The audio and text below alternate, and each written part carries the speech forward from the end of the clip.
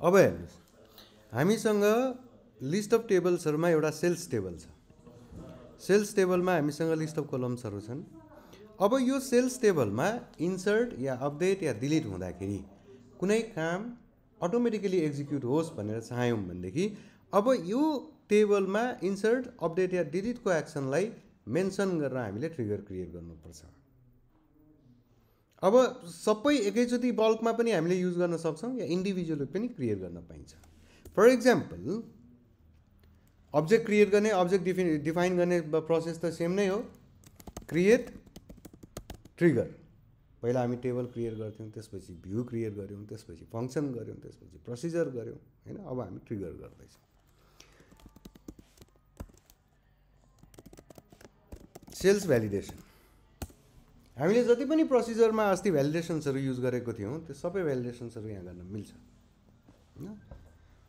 तर लजिक हामीले त्यही अनुसारको अपडेट चाहिँ गर्नु पऱ्यो तर यसमा के पाइँदैन भनेको थियौँ हामीले प्यारामिटर क्रिएट गर्न पाइँदैन। है? फर के गर्दाखेरि त अब? फर भनेको काम हुँदाखेरि। आफ्टर भनेको भइसकेपछि। है सो फर इन्सर्ट सेल्स भनेर त यसले कहाँ बुझ्छ? योसँग त जम्मा तिनवटा छ। के अरे चारवटा छ। इन्सर्ट अपडेट डिलिट सेलेक्ट सक्यो। होइन? सेल्स टेबलमा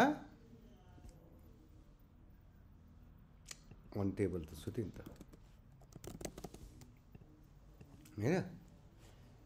Create trigger TRG sales validation on sales भनेको यो सेल्स टेबलको नाम देन फर इन्सर्ट इन्सर्ट हुँदाखेरि। अहिले केही पनि नगरौँ सिधै। इन्सर्टेडमा जे इन्सर्ट भइरहेछ त्यो मात्रै लिस्ट आउट गरेर देखाइदियो अब हेर्नुहोस् यसले एउटा ट्रिगर्स फोल्डरमा एउटा ट्रिगर क्रिएट गरिदिएको हुनुपर्छ। टिआरजी सेल्स भ्यालिडेसन अब हामीले यहाँ इन्सर्ट स्टेटमेन्ट एक्जिक्युट गऱ्यौँ।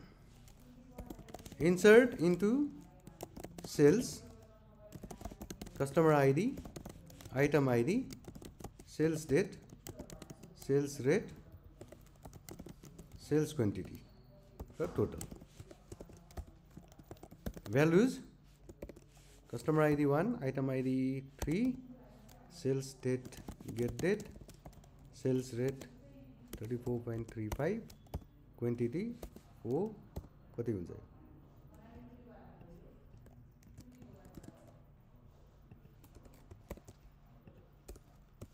यति हो त्यो त्यो त्यसमा छ नि होइन अहिले रेकर्ड भइरहेको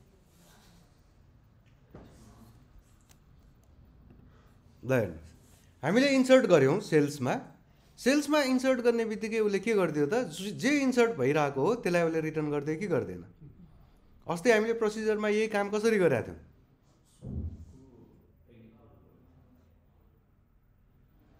प्रोसिजरमा हामीले इन्सर्ट गरिसकेपछि इन्सर्ट गरेको रेकर्डलाई हामीले ट्र्याक गरेर ल्याएर अनि त्यसलाई हामीले डिस्प्ले गरेको थियौँ हो? तर अब यहाँ त्यो काम गरिराख्नु पऱ्यो परेन। ट्रिगर्सले आफै दियो। सो यो चाहिँ हामीले के को लागि क्रिएट गरेको त? इन्सर्ट एक्सनको लागि। भनेको कुन टेबलमा भन्ने भयो के एक्सनमा भन्ने भयो।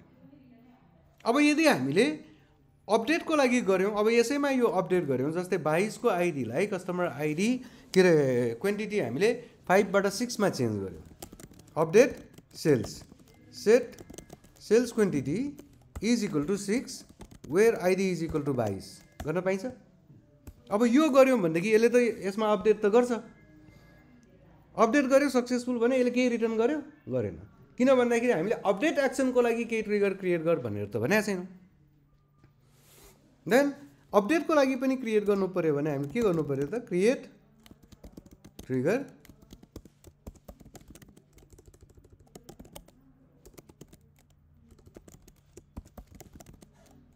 sales update on sales for update.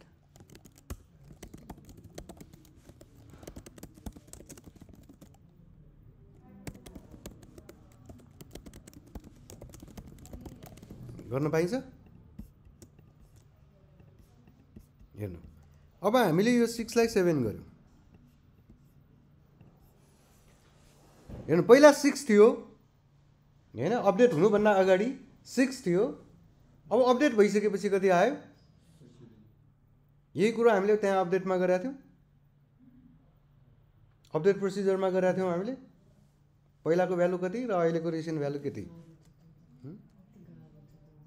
यहाँ सजिलो लाग्यो यहाँ सजिलो भयो। अब युनियन अलको कन्सेप्ट युज गर्न मिल्छ? कसरी गर्ने?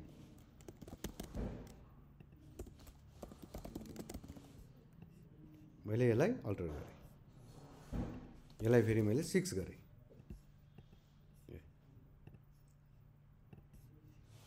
एउटै रिजल्ट सेटमा आयो। पहिला सेभेन थियो अब लास्टली चेन्ज भएर कति भयो त? सिक्स भयो। ठिक छ? अब यही केसमा हामीले भ्यालिडेसन लगाएर त्यो टोटललाई चेक गरेको भए के हुन्थ्यो? मिस्टेक छ। चेक गरेको भए के हुन्थ्यो? प्रोसिजरले अब त्यसलाई ट्रिगर गरेर रोलब्याक गर्न सक्थ्यो? सक्थ्यो नि होइन?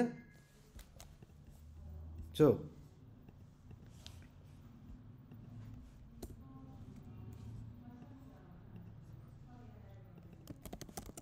create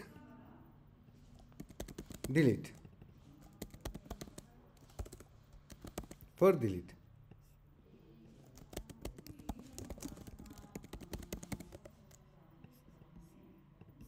अब हामीले delete from sales where ID is equal to बाइस। डिलिट भएको रेकर्ड त देखायो? अब यो सेल्समा एक्जिस्ट छ त अब यो?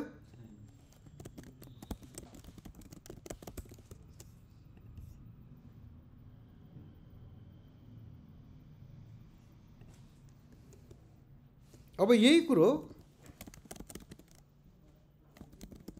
ट्रिगर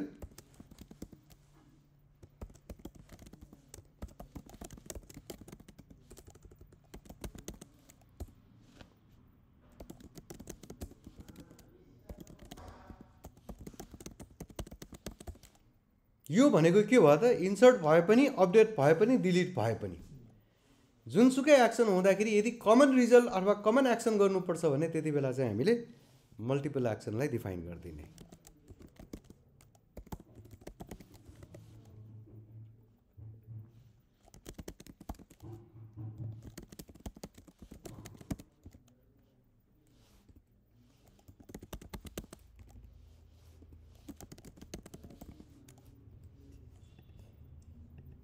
हेर्नु हामीसँग अब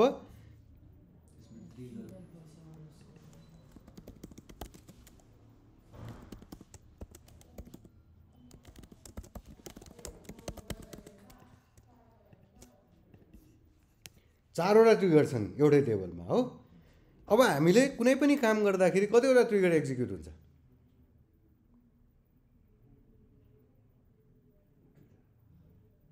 इन्सर्ट गऱ्यौँ भने दुईवटा अपडेट गऱ्यौँ भने दुईवटा डिलिट गऱ्यौँ भने दुईवटा इन्सर्ट र अपडेट गऱ्यौँ भने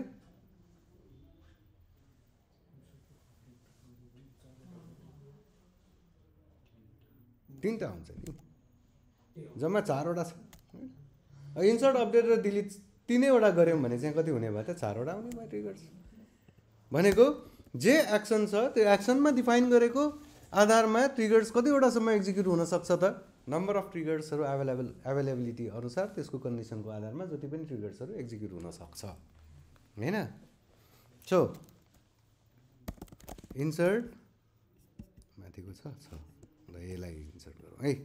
ल हेर्नु। पहिला उसले इन्सर्ट गरेको भ्यालु देखायो। त्यसपछि कमन चाहिँ के भयो? रेकर्ड रेकर्ड अपडेटेड र डिलिटेड होइन? यही कुरोलाई अब हामीले अपडेट गऱ्यौँ भने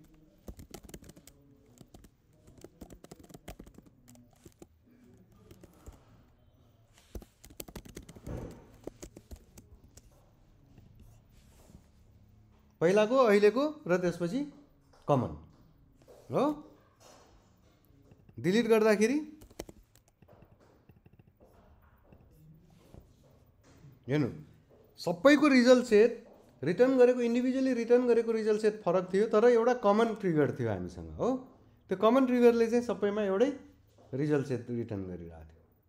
सो कमन एक्जिक्युसन अथवा कमन ब्याच कमन एक्सनलाई हामीले एक्जिक्युट गर्नुपर्छ भने कमन ट्रिगर्स नै क्रिएट गर्दाखेरि हुन्छ। तर यदि इन्डिभिजुअली एक्सनको आधारमा छुताछुतै काम गराउनुपर्छ भने छुताछुतै ट्रिगर्सहरू क्रिएट गर्नु पऱ्यो।